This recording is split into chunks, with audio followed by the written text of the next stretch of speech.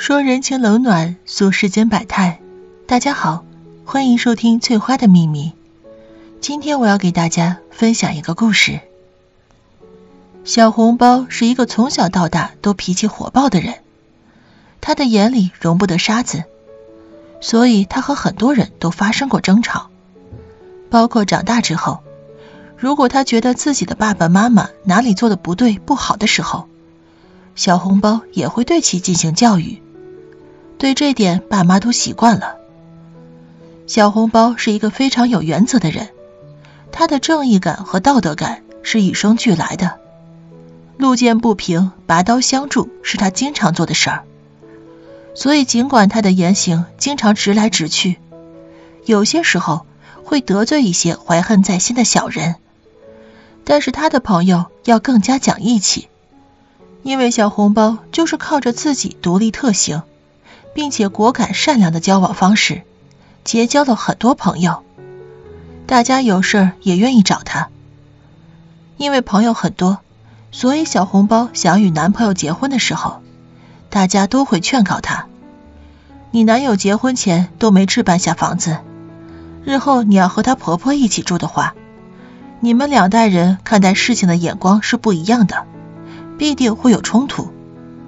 你们相处在一起。水火不容了，就会让婚姻变得很艰难。再说了，你丈夫也是一个不做主的人，想必也帮不了你什么忙。小红包知道丈夫的确是一个比较随性的人，因为小红包脾气火爆，所以她并不想找一个和她同样的人。那样发生什么矛盾的时候，必定是火星撞地球，一触即发。所以，小红包觉得丈夫非常适合她。至少在小红包想要生气骂街的时候，丈夫会在旁边默不作声，承担着一切。等到小红包气消了，丈夫才会发表自己的看法。这让小红包觉得和丈夫两人的相处状态，让她非常舒服。对于没有房子这件事，小红包并不是很介意。她觉得兵来将挡。水来土掩，若是婆婆温柔，她也必定会对婆婆善良。但如果要是婆婆狠毒，那小红包也不是吃素的，她就没有怕过谁。很快，双方家长就见面了。小红包的妈妈不希望小红包连自己的住处都没有，于是妈妈就和她未来婆婆提了这件事情。她还说。我女儿也不是一个特别不优秀的人，从小也是娇生惯养长大的。如果她的婚姻没有保障，那我们这些做父母的也不放心。现在年轻人结婚都是好几套房子，你们不能一套都不准备吧？再说了，你们家条件也没有那么揭不开锅。如果真是那样，我们还得真考虑一下他们两个的婚事了。婆婆听到如此，沉默了几秒，然后满脸堆笑的对小红包的妈妈说：“亲家，你误会了，我们也不是不给儿媳准备房子，我们现在住的这套房子就是新买的，本来就是为了我儿子结婚要用的，所以等日后他爸退休了，我和他爸就搬回农村去居住，这房子也自然会留给儿子儿媳。”他们两小两口刚结了婚，在生活上也不适应，我们帮衬他们一些，也不是什么坏事，你说对吧？小红包的妈妈听到此态度缓和了一些，她说：“但是现在这套房子仍然不属于我女儿女婿，为了让我们放心些，彩礼要多给一些吧。”婆婆思考了一下，说道：“没问题。”不过我们现在只给儿子准备了二十万的彩礼，等日后我再给他们十万，总共三十万，你看可以吧？这日后总得有个期限吧？小红包妈妈态度坚决，让婆婆也无机可趁。于是她说：“三年给清十万。”这场婚礼就这样顺利的进行了。小红包很开心，一直到婚礼结束。她仍然被幸福冲击着，只是结婚当晚，婆婆就给小红包下马威。她说：“儿媳，女人嫁了人就要懂得伺候丈夫，也要懂得孝敬长辈。嫁出去的女儿泼出去的水，你的长辈指的是我，而不是你的妈妈。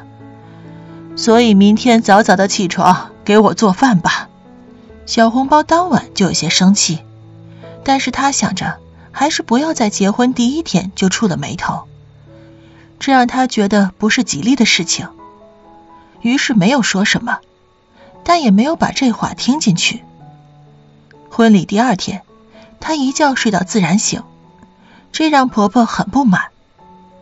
婆婆生气的坐在沙发上，不发一言。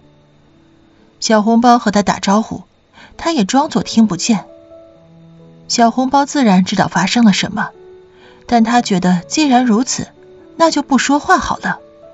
他又不是非要当什么贤妻良母，结婚本身就是为了开心呀。但最后还是婆婆忍不住了，她向儿媳小红包说：“住我家你就应该付房租，不能白住吧？你们租房子也是需要付钱的呀。”小红包听到此，他已经怒火中烧，但还是爽快支付。但他已经有了计划。小红包心里想：既然你这样不仁，那就别怪我不义。当天晚上，小红包就和丈夫说了此事。既然要付房租，那我们直接搬出去住吧，哪里都是住。丈夫很爱小红包，也不希望她和妈妈再发生什么冲突。也就同意了。第二天，婆婆看到儿子和儿媳在打包行李，问道：“你们要干什么？”小红包说：“这房子我们不租了，我们打算出去租房子住。对了，白纸黑字的写好，三年内您记得要把那十万还给我。还有那天说的，公公退休了，你们回村里住。”这几年的房租应该是你们付一下吧？昨天那个钱就当是我新婚孝敬您的茶钱吧。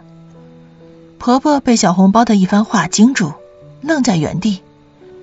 小红包带着丈夫三年都没有再回婆婆家，一直到要那十万块，小红包才再一次见了婆婆。婆婆整日思念儿子，于是和这个儿媳道了歉。以其人之道还治其人之身，这是一个很好的方法，既能让我们反弹给那个施暴者，也能让他们感同身受，并且毫无反驳的道理。有的时候，我们不能一味的退让，一味的善良，甚至改掉我们原本的脾气，那样只会让仇者快，亲者痛。自己不喜欢、不愿意做的事情。我们就有理由拒绝，无论对方是什么身份，我们自己开心才是最重要的。如果为了别人放弃自己原有的样子，那么也只会让原本喜欢我们的人感到陌生，而让那些惹是生非者更觉得我们是一个好欺压的人，反而让他们变本加厉，理所应当。这样岂不是得不偿失？赔了夫人又折兵，所以我们勇敢的做自己就好。人生不过短短几年，靠近喜欢的人，做喜欢的事。好的，今天的故事就到这里。如果您有喜欢的故事，记得在视频下方留言，我们会尽力满足您的需求。期待下次与您的分享。